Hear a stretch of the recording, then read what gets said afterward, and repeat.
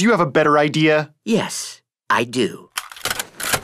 Yeah, boy!